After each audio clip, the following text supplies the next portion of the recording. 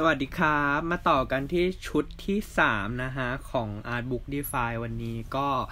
จะบอกว่าเป็นเซตเทพมาก ๆ นะ เซตนี้เพราะว่าเขาวางขายมานานมากแล้ว ถ้าผมจำไม่ผิดคือปี 2010 หรืออาจจะก่อนนั้นเนี่ยแหละ คือเป็นที่จริงอะ อันนี้มันเป็นนิตยสารเกี่ยวกับมอเตอร์ไซค์แต่อยู่ ๆ อาจารย์คนนี้อาจารย์เอ่อฮิโรชิทาคาฮาชิ อ่า ใช่ใช่คนนี้แหละ คนที่เขียนอีกาเนี่ย ก็คือแกน่าจะมีความหลงไหลเกี่ยวกับมอเตอร์ไซค์หรืออะไรสักอย่าง บูโซเซนเซนอะไรเงี้ย แกก็เลยเหมือนแบบ จอยกันเลยแล้วกัน เออ เอามารวมกัน แต่คือทั้งเล่มอะไม่มีอะไรเกี่ยวกับมอไซค์เลยยกเว้นภาพสุดท้ายที่เป็นภาพปกแบบผู้หญิงนี่จะอยู่ในนิตยสารเหมือนใน FHM บ้านเราอย่างเงี้ย เออ ก็น่าสนใจดีนะครับผม ถ้าเกิดพร้อมแล้วไปดูกันเลย มาแล้ว มาแล้ว อืม ขอโทษทีครับกับเสียงไอที่น่ารังเกียจ ก็สเลดมันติดคอเนาะมันช่วยไม่ได้ เห็นมีเล่มหนึ่ง แต่มันไม่ได้มีแค่เล่มหนึ่งนะครับ มีทั้งหมด 10 เล่มและการที่จะตามหาให้ครบในตอนนี้ค่อนข้างยากมากๆ ขนาดร้านผมเองเนี่ย ต้องใช้เวลาเตรียม 2-3 เดือนหานะ แบบมือหนึ่งซิลอะคือ เพราะว่าร้านมันไม่ขายมือสองไงเออถ้าเกิดเหมือนแบบเราจะไปหาจากนู่นจากนี่มาจากเมอร์คารีจากยาฮูจากอะไรมันก็มีแหละ แต่คือสภาพมันไม่ได้ แล้วก็แบบ เออ คือการขายของมือสองให้ลูกค้าก็คือรู้สึกว่ามันไม่โอเค โดยเฉพาะหนังสือเลยนะเพราะว่าผมเป็นคนที่เหมือนแบบหลงไหลนิดนึงกับตัวหนังสือ แต่ละ ปกเนี่ยจะบอกว่ามันเกี่ยวกับอะไรอย่างเมื่อกี้ก็คือเป็นซูตูรันเอ้ยเป็นโบยะฮารุมิจิก็คือจะเน้นไปที่โบยะฮารุมิจิแล้วนี้ด้านหลังก็คือจะเป็นโปรโมตเกมด้วย ซึ่งเนื้อหามีทั้งหมด 10 เล่ม แต่ละเล่มคือเกิดตรงไหนเป็นหน้าปกเอ้ยคนไหนเป็นหน้าปกก็คือจะเน้นคนนั้นแหละ นี่ก็จะเป็นกระดาษ art matte ธรรมดาธรรมดา แต่คือมันทรงคุณค่ามากเลยครับ มันสวยงามมากจริง ๆ เพราะว่าภาพพวกนี้ส่วนใหญ่เราเห็นในอีกา มันจะเป็นภาพขาวดำไง แต่นี้เรามาเห็นแบบในเวอร์ชั่นภาพสี ผมก็เลยรู้สึกว่าเฮ้ยมันดีนะ อืม แบบบางบางฉากอย่างเงี้ยก็ไม่มีให้เห็นด้วย เนี่ยก็จะมีตัดภาพขาวดำ PAD p a l u c o of Dangerous อันนี้ก็เป็นคู่ต่อสู้คนสุดท้ายของโบยะ เนี่ยแล้วก็จะจบประมาณนี้สั้นๆ แล้วก็เนี่ยที่เกี่ยวกับมอไซค์ก็คือเป็นนางแบบมอไซค์แค่นั้นเลย ที่แกมา X กับอากิตะ DX เนี่ย อันนี้เป็นของบูโซเซนเซนบูโซเซนเซนมี 2 เล่มนะครับสำหรับคนที่อยากเก็บบูโซมีเล่ม 2 กับเล่ม 10 ก็คือจะเน้นไปที่บูโซแล้วก็ตัวริวชิน แต่ถ้าเกิดเป็นเล่ม 10 เนี่ย ก็คือหลังจากยุคริวชินไปละนี่คุโนริวชินนะฮะ นักมวยของเรา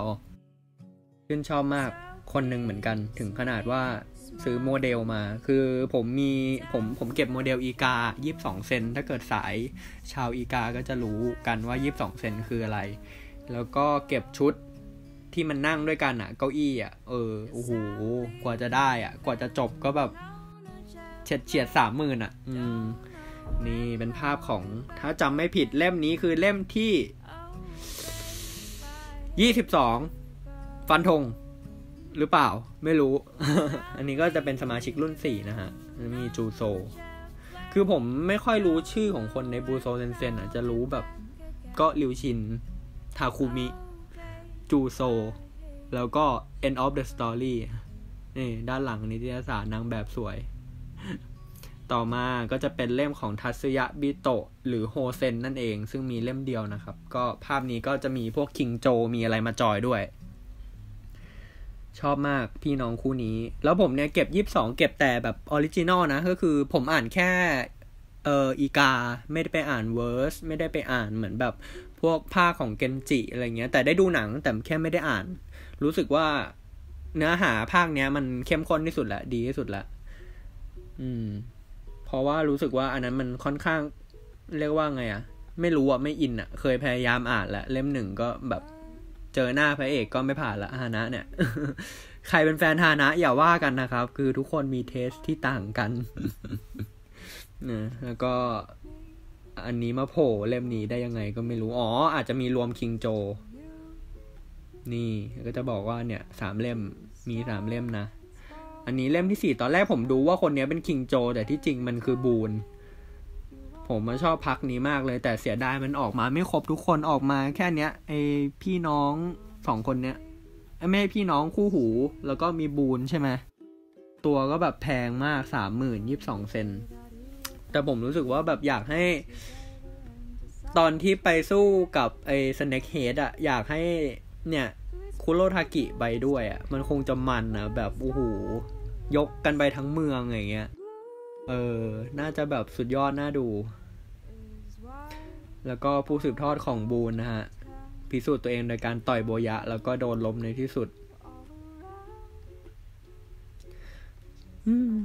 จะอ่านยังไงก็ไม่เบื่อ ถ้าพูดถึงอีกา คือมีพี่คนหนึ่งผมจำช่องเขาไม่ได้ เขาไปพูดใน YouTube เล่าเรื่องอีกา แบบวกไปวนมา เดี๋ยวสรุปนู่นย่อนั่น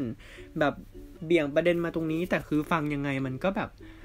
ต่อให้ผมอ่านแค่เวอร์ชั่นเดียว แต่ผมก็สามารถฟังได้นะ แต่ผมไม่สามารถไปอ่านเวอร์ชั่นนั้นได้ แต่พี่แกเล่าแบบสนุกอะเออสนุกดี บางทีมันก็เป็นอีกช่องทางหนึ่งที่เหมือนแบบเราจะเสพอะนะ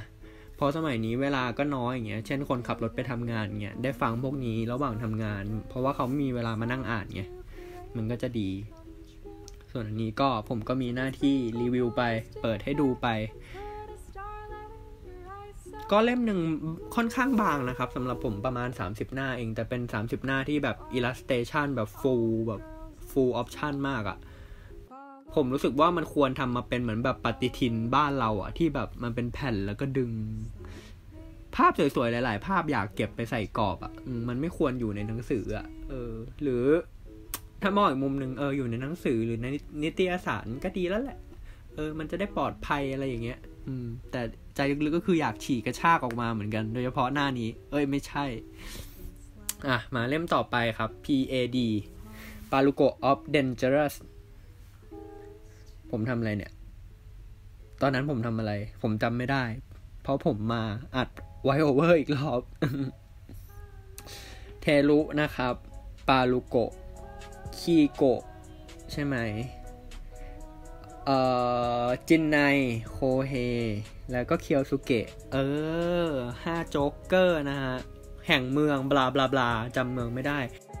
เสียดายไม่ได้เห็นเคียวสุเกะสู้ เพราะว่ามันน่าจะโหดที่สุดในกลุ่มอะดูจากท่าทางแบบมูดแอนโทนแบบเป็นซิกเก็ตคาแรคเตอร์มาก อืม แต่ก็มีถูกพูดถึงอยู่บ้างนะ แต่ค่อนข้างน้อย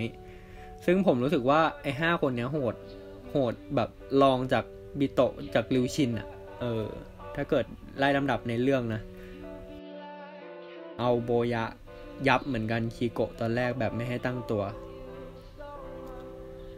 แล้วก็ท้ายเล่มอะ คือมันจะมีของแต่ผมอะไม่กล้าเปิดออกมาดูมันคืออะไร อาจจะเป็นการ์ดหรืออะไรสักอย่างการ์ดเกมอย่างเงี้ยเหมือนการ์ดสะสม ผมจะไม่แกะเด็ดขาดพอรู้สึกว่ามันจะเสียคุณค่าของความเป็นหนังสือมาเลย เพราะว่าหนังสือเขาตั้งใจมาให้มาเป็นแบบนี้แล้วอะ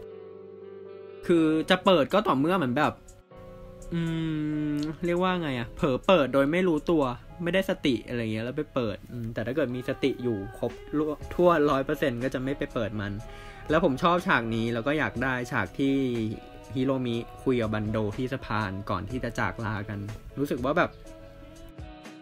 บันโดก็มองหน้าฮิโรมิก็บอกว่าก็คงคิดในใจมึงเหมือนกูเลยว่ะ อะไรอย่างเงี้ยแต่กูจบไปแหละ มันยุคสมัยของมึงละเออก็สู้ๆนะฮิโรมิอะไรประมาณนี้ ก็เนื้อเรื่องเข้มข้นครับ ตัวละครทุกตัวมีมูดแอนโทนที่ชัดเจนมากๆ นี่มียี่สิบสองเซนเอ้ยสิบเซนหรือเปล่า หรือยี่สิบสองไม่แน่ใจ เล่มนี้เป็นเล่มของห้าคนนะครับห้าห้าเรียกว่าอะไรห้าเด็กใหม่ห้าน้องใหม่ ปีหนึ่งปะที่มีเซตตอนเป็นผู้นำถือว่าเป็นผู้นำหรือเปล่า คนที่เก่งที่สุดละกัน ผมไม่แน่ใจว่าเป็นผู้นำหรือเปล่า เพราะว่า ไม่ได้อ่านถึงภาคฮานะ ก็ภาพก็ค่อนข้างแบบไปในเชิง เรียกว่านักเลง อืม เหมือนในห้าคนเนี้ยไม่ใช่นักเรียนอะ่ะเหมือนเป็นกลุ่มนักเลงอะ่ะ อืม เพราะว่าเหมือนแบบพอโมเดลออกมาเนี่ย มีถือมีดถือไม้กันอะไรเงี้ยเอาเวอร์ชั่นของ Worst มาใส่ ผมก็เลยเหมือนแบบ ไม่เก็บเลย สักตัวเดียวของห้าคนนี้ จบไปแล้วมาถึงเล่มนี้ เล่มที่ 9 ก็เป็น PAD อีกเล่มนะฮะ PAD มีเล่ม 6 เล่ม 9 ส่วนบูโซมีเล่ม 2 กับเล่ม 10 แล้วก็ เออ เนี่ย ถ้าเกิดจะจับเป็นคู่ถ้าเกิดอยากเก็บเฉพาะ น่าจะมี 2 คู่นี้ส่วนโฮเซนก็เป็นเล่ม 3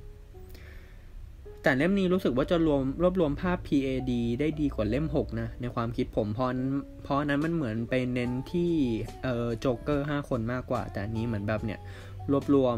เรื่องราวสเนกสเนกเฮดก็มา นี่ รูปนี้ชอบมาก แบบชอบอะเออ เป็นกลุ่มแบบแมงไรเทียมทาน ผู้ไรเทียมทานสเนกเฮดก็คือสเนกเฮดเถอะเจอ ปารุโกแอนด์เดนเจอรัสเข้าไปชื่อแบบ ไม่อยากจะอ่านเลย แต่ก็มันเป็นชื่ออะเขาตั้งมาเราก็อ่านตามเนาะเราไม่มีสิทธิ์ไปเปลี่ยน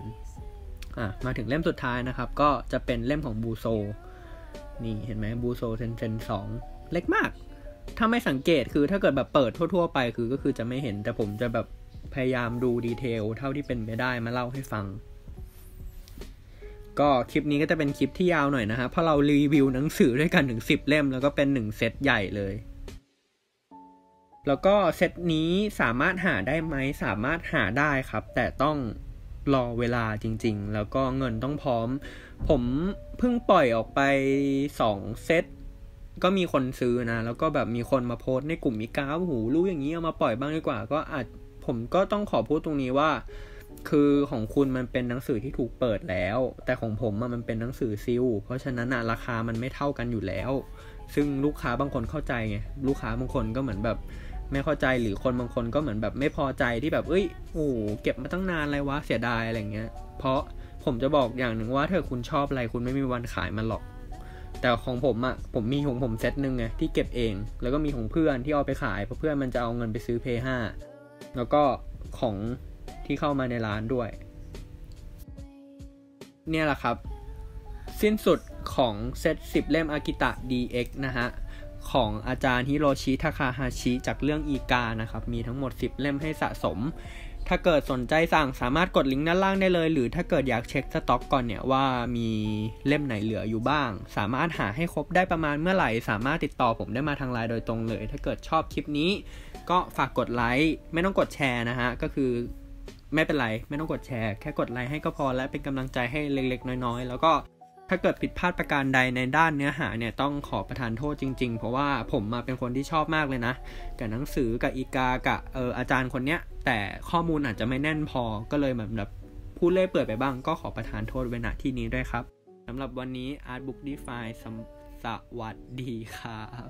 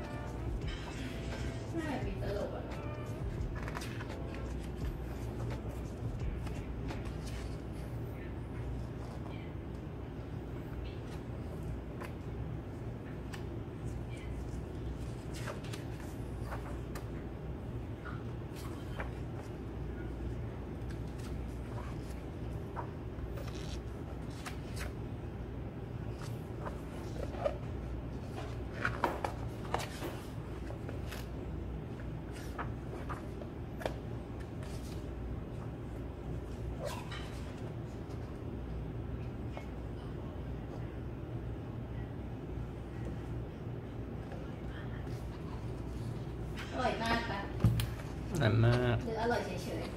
อร่อยมากๆที่เราวิจารณ์ได้เลยนะเขาเขาต้องการคำวิจารณ์ไม่ใช่คำชมมันก็ต้องนุ่มกว่านี้เออมันแค่เปลือกใช่ไหมอ่าแค่เปลือกมันที่เหลือก็โอเค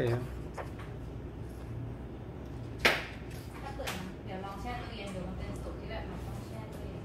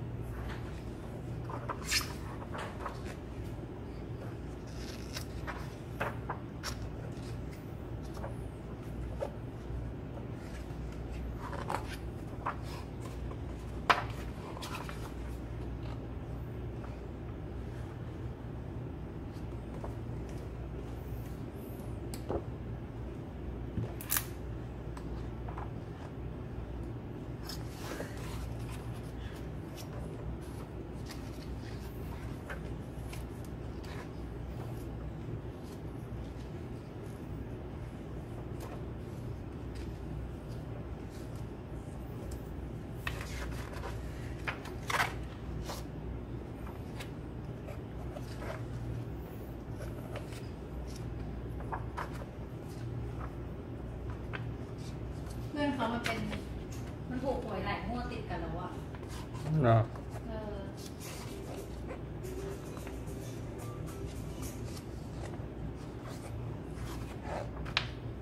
ถูกหวยจาก ส้มตำอะยังไงอะก็คือ มันไปตำมั่วใช่ไหมแล้วก็จะใส่ขนมจีนแล้วเลขขนมจีนมันกลายเป็นเลขสี่เก้าไงก็ไม่รู้แม่งถูกเฉยถูกหวยดาว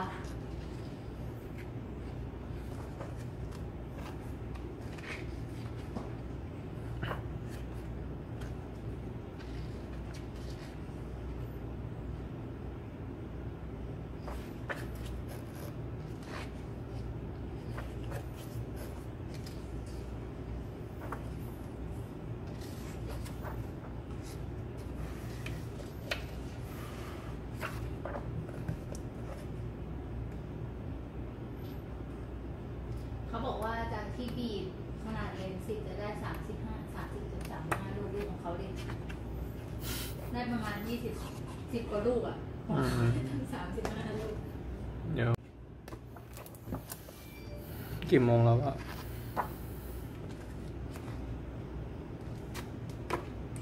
กี่โมงแล้วคะเ